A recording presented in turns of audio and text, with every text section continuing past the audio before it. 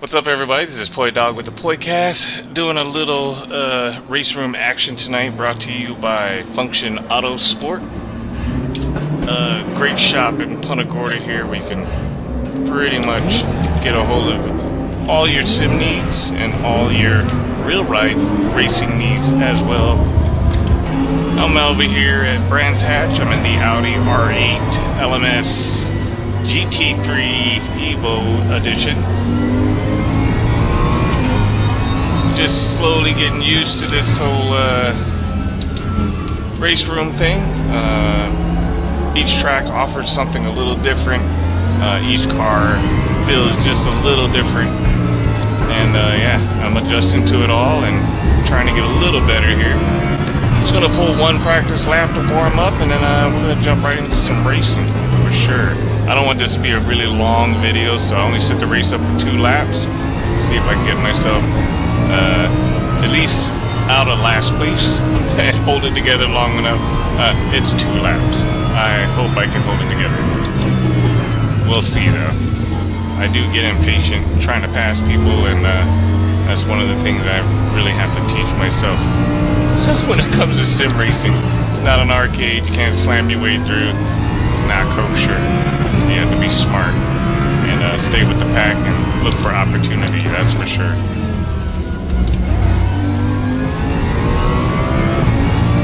Alright, I'm going to just finish up this lap and I'm going to go ahead and jump right to the race. Car feels pretty good. It's the first, uh, I'm driving the Audi as well, so we'll see how this all works out.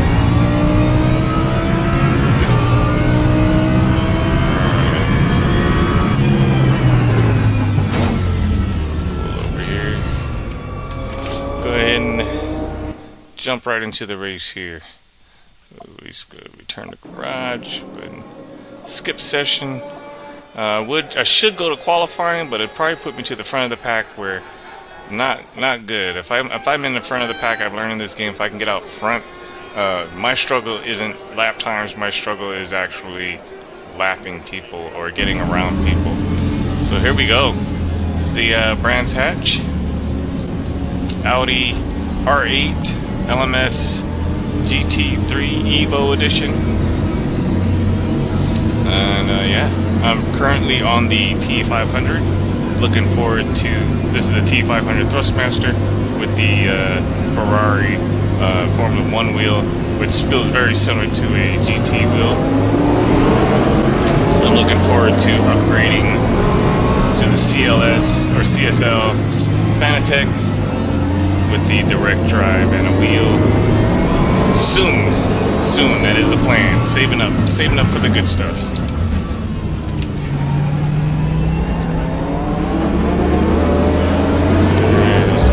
stay nice and tight with these guys, and hopefully I can make a move here soon enough. Like I said, I only set it for two laps, so I'm gonna be a little aggressive. Try not to be too touchy. Not, you know, not too much rubbing. Rubbing is racing action. I'm not trying to do too much of that. Just try to stay close and smart. Uh. Yeah, that AI right there. No room to wiggle for sure. Oh, he worked his way right back up in there. He did not care.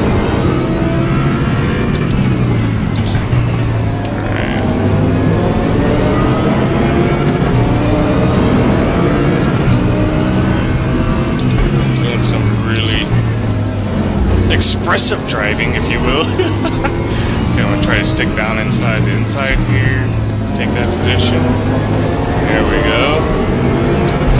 Eh, I'm learning a little bit here and there. At least working with the AI, I know uh, human drivers are a lot different, and uh, it takes a totally different approach with human drivers. But uh, yeah, like car control, just looking for opportunity. I think is what I'm taking away by uh, working with the AI here. So far, so good. Keeping it clean. Try to get myself out front. The, I think the big thing uh, is to not get greedy or try to maintain speeds that'll just push you off of the track. You just gotta keep smart. Big senders are great for that last lap turn, I suppose. Uh, but for the most part, while you're racing, at least for me, uh, just try to keep it nice and steady and smart. And yeah, I got around the whole pack there, so pretty stoked on that. Uh, doesn't mean I won't make a mistake in them retaking their positions. Uh, and that's one thing I do like about the AI in this game is that they seem to drive pretty smart. They use a lot of different lines, and uh, they're not afraid to get around you, and they will do it clean for the most part. I haven't had any really bad issues of them just smashing me out of the way. Uh, I have done some braking a little too early in front of a faster car, uh, but outside of that, no, nothing, nothing major where I'd have to, I'd have any type of concerns. This one here, he wants that third place again. Ooh, I'm taking it back. Hopefully I can hold it. This is coming up to the last turn. uh, this will be actually my first official win in um, Brands Hatch for the RaceRoom, so uh, of course it's just done in two laps. It is adaptive adaptive AI, uh, but yeah, no, pretty stoked on that. Stoked, gotta win. Uh, I mean, if you know any creator as well as I know any other creators, uh, we will keep doing it over and over again to it don't look stupid, and sometimes it pays off when you uh, you look pretty cool and you win a race. So I'm pretty stoked on that. But anyway, thanks for checking it out, guys. Um, uh, like I said, uh, keep your eye on the page. Um, teaming up with um, uh, Function Autosport and stuff like that, and and looking forward to doing a lot of sim stuff in the future. So if you're interested in any type of sim stuff, let me know. Reach out. I'll make sure you guys stay uh, in tight with the dates, give you addresses and all that stuff. Uh, I'm hoping to put together a meet and greet very soon.